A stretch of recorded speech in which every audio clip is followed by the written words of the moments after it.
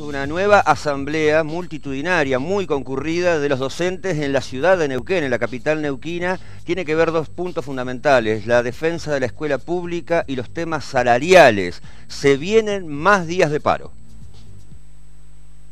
Queremos que el gobierno le ponga fecha a la mesa que tiene que existir en octubre, eh, que está planteada y escrita eh, en el acta que se firmó a principios de abril cuando levantamos el conflicto.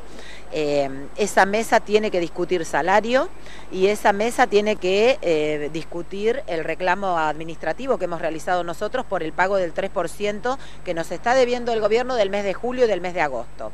Y por otro lado, la Asamblea ha dicho con claridad que no vamos a aceptar ningún trato discriminativo del gobierno de la provincia.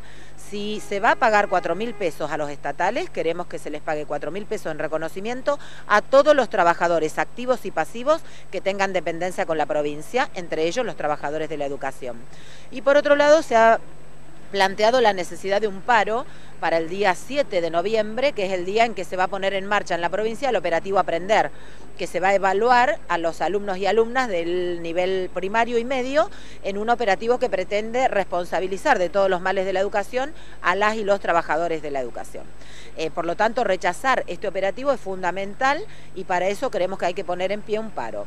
Pero, por supuesto que la Asamblea de Aten Capital ayer sesionó con varias seccionales y nos falta el plenario y el conjunto de las otras asambleas, por lo que la Asamblea ha votado con claridad el pedido con carácter de urgente a la Comisión Directiva Provincial a que convoque a asambleas en toda la provincia con el plenario para definir las acciones.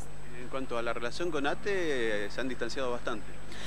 Nosotros no nos hemos distanciado de ATE, nosotros hemos planteado un debate con el gobierno de la provincia.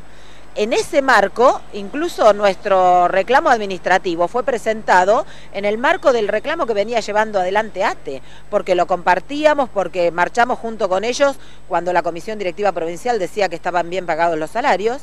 Em, entonces no, no, no hay ningún problema con los compañeros de ATE. El problema acá es con el gobierno, que no ha cumplido con el acta.